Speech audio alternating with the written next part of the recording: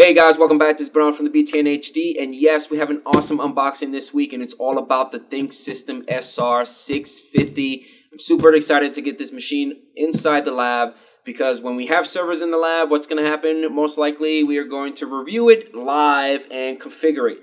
So I don't know what's going to happen on this machine. I don't know if we're going to install Linux, Windows. I don't know. Uh, I do not know what kind of specifications Lenovo sent me like storage, memory. So we're going to find out with the unboxing. Uh, so let's get to it.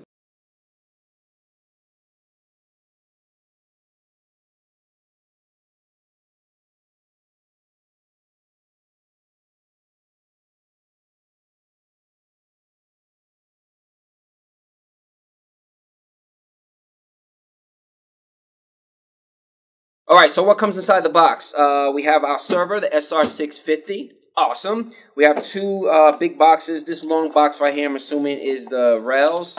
So we are going to open it up. I am not going to rack it up, but it is always nice that uh, a company does provide the the rails.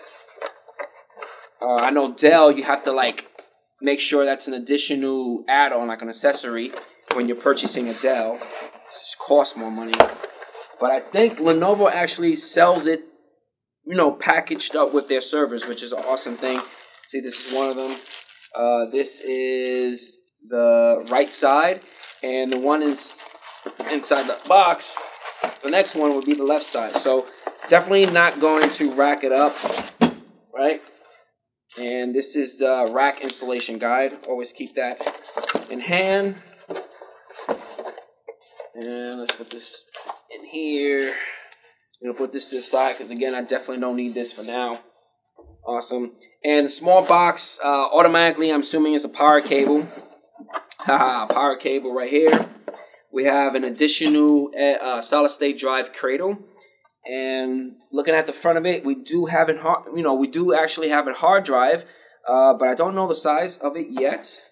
And also inside this small little box, we have our Lenovo warranty Yep, warranty support guide right here. Cool. Awesome. Alright, so I'm actually going to put this uh, little box to the side real quick. Ah, if I can close it. Ah, put it to the side. Awesome.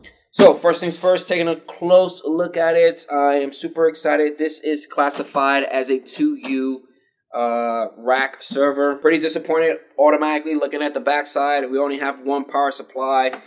Uh, that sucks. I love purchasing servers with two power supplies. That is best practice in my in my book. Uh, this one is actually 1100 watts, which is super powerful. But having an additional power supply, 1100, 1100 is awesome. I think on the 650 SR650 lineup, I think the highest power supply is 1600 watts. Not too sure, but I will follow up during the review uh, we have a couple uh, 3.1 USB uh, ports in the back. We have our VGA, our Ethernet or RJ45. Does not look like we have an LOM uh, port at all. It's covered up. We have a bunch of PCIe slots, but none of them are hooked up. So the back side is pretty plain. On the front side, it looks like we have a lot of bays. Uh, it looks like we have 24 bays. Uh, bay 0 is hooked up with a hard drive. So I'm gonna actually take it out. And this is a 480 solid state drive SATA 6.0 uh, gigabits per second speed. Uh, 480 gigs. What could we do with this particular machine? I don't know how much memory it has. So I'm gonna slap this guy back inside. There we go. Awesome. So what I'm going to do is right here on the top, we're gonna slide that up. We're gonna open it up this guy to the side. Awesome. Take my hands, rub it. Awesome, cool. All right, so it looks like we only have one processor. I do not know what type of processor. I'm assuming it's probably an Intel Xeon processor. Don't know if it's a premium gold or bronze uh, series. So when we boot it up, most likely we could take a look on that.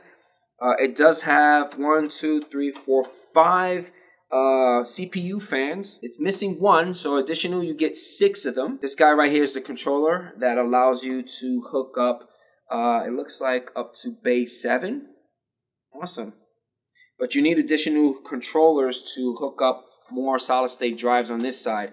So the controller only supports up to 7, 8 uh, solid state drives. Okay, so that's the controller there. Uh, it does have an M.2 uh, ports, so I could hook up an M.2 solid state drive there. How about memory? Let me see if I could take this guy out of here. Awesome. Now, this machine, the SR650, is capable of handling two processors, which is great. And uh, it looks like we only have 32 gigs. 32 gigs with 480 gig solid state drive. Ah, what to do with this particular machine with you guys during the, the server room live stream, right? I don't know. I definitely don't want to do a Windows server. We've done that. We've done VMware. Maybe Citrix or Linux? Ooh, Linux. That'd be awesome, right? Hmm. Who knows? Uh, specifications look pretty good. All right, so I'm going to close this up. Put this guy back. Uh, I'm going to put the lid back. I'm going to hook up a an external monitor, VGA monitor,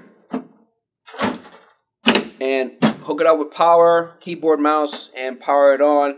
On the front panel, not too much going on. Uh, this guy right here looks like this is the power. Uh, LED indicator. Uh, you have two additional uh, 3.1 USB ports. Cool and no VGA. That's a first. Typically, like the Lenovo servers that I've dealt with always has a, a VGA port on the front and the back. This one only has one in the back, which is okay. Awesome. All right. So let me hook up the monitor, keyboard, and mouse and power this guy on and actually see what type of CPU it has.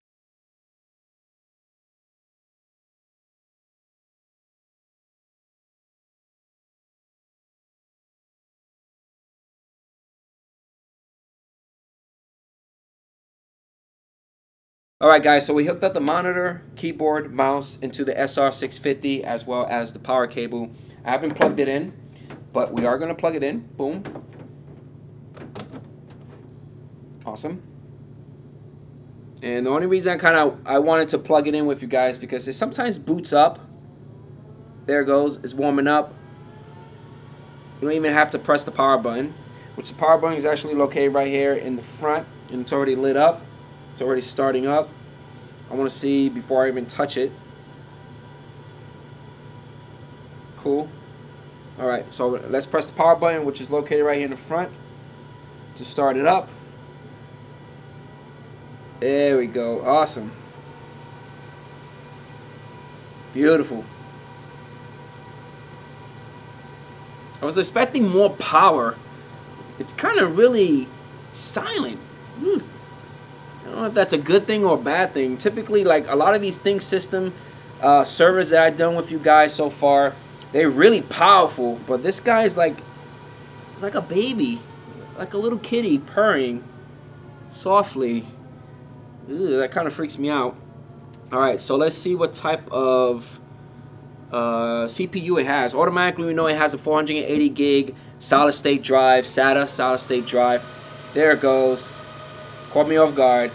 Uh, it has one processor, but it's able to support two processors. I don't know. I know automatically it has to be like an Intel Xeon because it has the little sticker right here stating Intel Xeon. But what type is it? Is it a bronze, platinum, gold, silver? Who knows? It does support two CPUs, like I said before. Uh, it has 32 gigs. It does have 24 DIMMs, and that would be 12 DIMMs for one processor and the other 12 DIMMs would be for the other processor. Okay. Uh, off the bat, I'm, I'm assuming maybe a terabyte to two terabyte for memory. Probably a little bit more. I don't know. I'm assuming this. Uh, but I will give you guys the exact information when we're doing the review.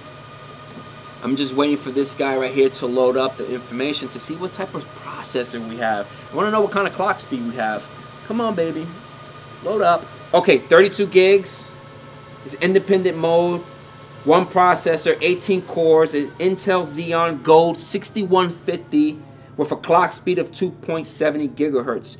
No boot devices available and the system will reboot. Ugh, that sucks. So that means there's no operating system on this particular machine. So that means, ah, It hasn't been touched. So what to do with this particular machine, I don't know.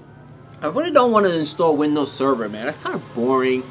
Uh, we touched base with VMware. Uh, I really want to I want to get my hands dirty with Linux. I want to build maybe a Linux server with you guys. I want to know what you guys think. Should I build the Linux server with the ThinkSystem SR650? Please leave your comments right below. Let me know what are your thoughts. And uh, first impressions on the machine, uh, like mm, only one hard drive, 480 gigs solid state drive is not that bad. 32 gigs of memory. I could do a lot, do a lot, you know, with you guys with those particular specifications. Uh, kind of sucks that it doesn't have an additional power supply. Uh, it'd have been nice if I got a second one, but hey, the 1100 watt power supply that I have right now is great. On the back panel, very limited on ports, super standard, one VGA, two 3.1 USB ports, um, and you have your RJ45 port. That's it, done. On the front panel, you have 24 bays, uh, that allows you just to slap in a, a lot of solid state drives. But the way that this guy is configured, you could only configure up to eight bays because of the controller. It's only configured on this side right here. The other, the other side right here doesn't have the controller to install any hard drives, so that kind of sucks. Uh, this particular model does not have a VGA port on the front, which is okay. We could still use the back part which is, you know, it's good. Overall, I'm pretty excited that Lenovo hooked me up with the ThinkSystem SR650 to do some testing and uh, a little bit of configuration during the server room. So again, I'm leaning towards a Linux server. I want to know what you guys think. Leave your comments right below. Don't forget about hitting that like button. And I catch you guys on the next one. Peace out.